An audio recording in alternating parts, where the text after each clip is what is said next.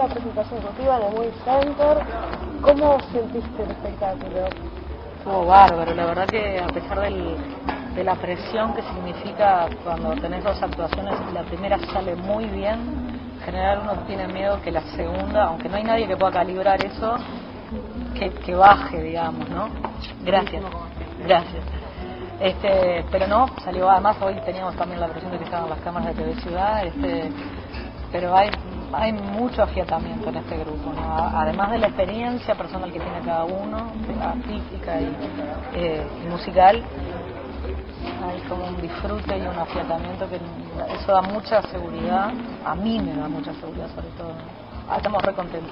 Hace un tiempo ya que están preparando el espectáculo, Sí, ¿no? este, en enero de este año empecé yo a, a seleccionar todo el repertorio y los primeros pasos pre, pre, pre, pre producción, digamos.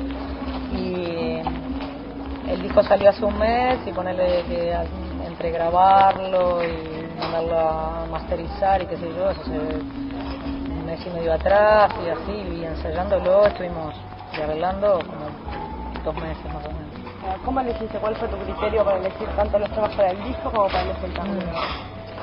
Este, para el disco el criterio mm, fue, digamos, básicamente dentro del género del, tango hay como distintas vertientes, ¿no? Y una que a mí me parece una de las más importantes es lo que se le llama tango canción, que es como lo que hace Gardel, por ejemplo, ¿no? Un tango con mucha melodía, este, con, con una- una- un link muy importante al, al- a la balada, digamos que yo siento que es lo que a mí me queda mejor y lo que me permite más expresión. Entonces, el primer, digamos, este, la primera frontera fue esta, ¿no? Elegir dentro de ese género.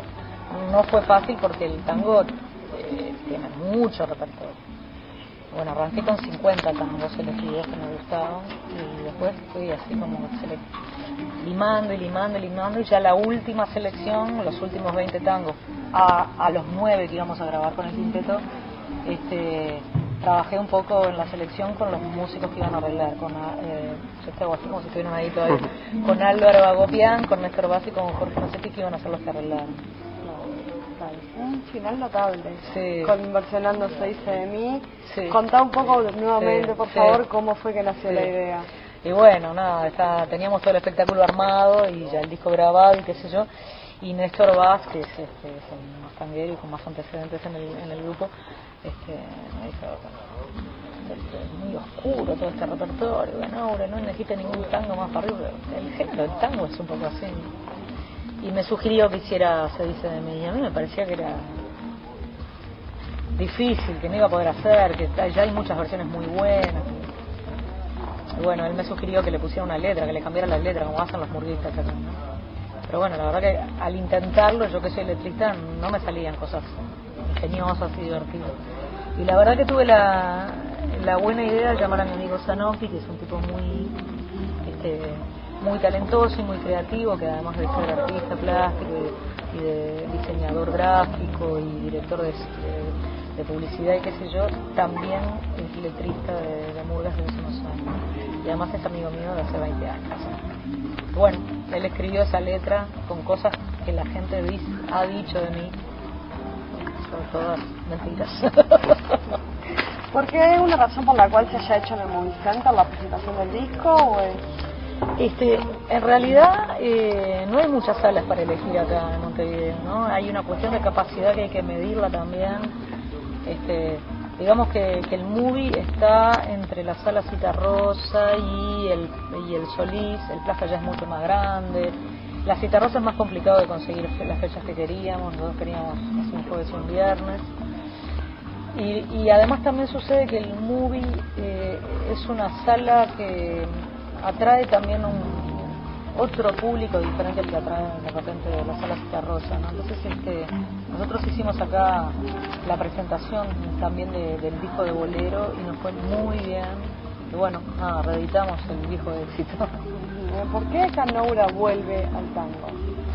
Y bueno, porque de alguna manera yo arranqué hace muchos años, así que coqueteando con el género, ¿no? Hicimos un espectáculo en el 94 con Hugo Faterucho en el Solí, que se llamó Locas Pasiones, que ahí en la mitad del repertorio eran tangos. Después este, hace ya 10 años que canté, que empecé a cantar como invitada de las galas de tango de la Filarmónica. Y en todos mis últimos discos, este, sobre todo los que grabamos en vivo, siempre había algún tango que aparecía, ¿no? Entonces, bueno, en realidad yo no siento estar volviendo, ¿no? Siento que es una cosa que uno ah, se acerca, sale, se mueve, ¿no? Y bueno, justamente vos que hace un tiempo ya que estás rozando el, el tango y viviéndolo también más de adentro, ¿Qué sentís con esta nueva bueno renovación que se podría que está, mm. decir que está viviendo el tango? Mm. De mano, sobre todo, de la mano de, voces femeninas, mm. relativamente nuevas. Como sentís que eso efectivamente le hace bien al tango, bueno, lo trae de vuelta a la escena. Obvio, yo creo que todo, ¿no? El, eh, ya antes que eso tuvo el, el, baile, la parte bailada, que eso fue lo que acercó a más gente joven, sobre todo, ¿no?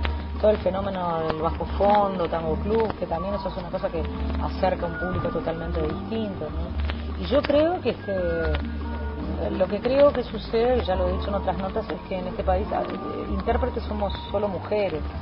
Este, no hay intérpretes masculinos de ningún género, si vos te pones a mirar, son dos cantautores. ¿no? Entonces este, es muy tentador para las intérpretes, por lo menos eso es lo que yo siento, eh, cuando haces un, trabajo de género. ¿no? Cuando, cuando yo hice bolero o cuando hice piaf, lo mismo que ahora que estoy haciendo Canobra canta el tango, es, es, muy seductor porque es muy redondito, te permite, te permite armar el espectáculo de otra manera, yo qué sé yo, para mí es un gran aprendizaje. No sé, no sé cómo llegan las demás colegas a esto, ¿no? Creo que, en mi caso siento que es, es una visita, digamos. ¿Qué sentís que aporta el tango que no aporta otro género? ciudad, ciudad, ciudad, sobre todo ciudad y Río de la Plata. ¿no? Yo que sé, en cualquier parte del mundo que, que suene un tango es inmediata la referencia a esta parte del mundo. ¿no? Este, yo, yo escucho las cosas que me produce Piazzolla a mí, cuando escucho a Piazzolla no la produce ninguna otra música, y sin embargo es un músico que compuso del otro lado de la orilla, ¿no? Yo me, me siento que está hablando de mi ciudad, ¿Cuál es el camino que continúa este proyecto de Canobra Cantantando? Y bueno, ahora tocarlo al máximo todo lo que se pueda. Tenemos un proyecto para el verano que se llama Verano Tango, que es tratar de mostrarlo acá y en, todas las zonas de costa. Este, tenemos un plan de gira por el interior para los primeros meses del año que viene y después nos vamos a Europa en el segundo semestre, España, Suecia, ojalá que Portugal y ojalá que Alemania. Bien, y por último, ¿con qué nos, nos va a sorprender Canaura? ¿Cuándo? El futuro. y yo qué sé, no sé, hay que dejarse llevar por el viento un poco, ¿no? Este, ahora lo que voy a hacer es disfrutar de esto, ¿no? De llegar a la meta, eh, disfrutar, ver cómo se, cómo se mueve solo este proyecto, ¿no? Disfrutar de esta etapa, ¿no? Que las anteriores son bastante estresantes. Claro. Bueno, Laura, muchas gracias. A ustedes. Chao.